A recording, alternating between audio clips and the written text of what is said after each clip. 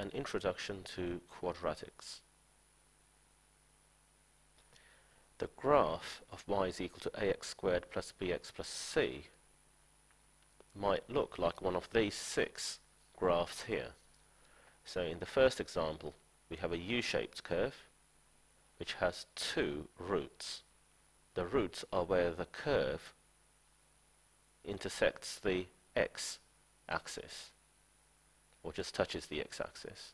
Two roots here.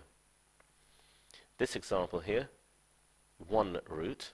Sometimes this one is called a repeated root and we'll have a look at why it's called a repeated root later.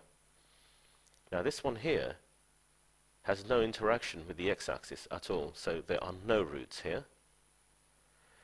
So these are your U-shaped curves, and you have similar N-shaped curves where you have two roots, one root, or a repeated root, and no roots. When sketching quadratic graphs, you should give the y-intercept, so whatever the y-coordinate here is, it should be stated here, here, here, here, here, and here. Other um, key features that you find with uh, quadratic graphs is something called the vertex. Now the vertex is the lowest point on a U-shaped curve. So for example, this point here, what are the coordinates for this point?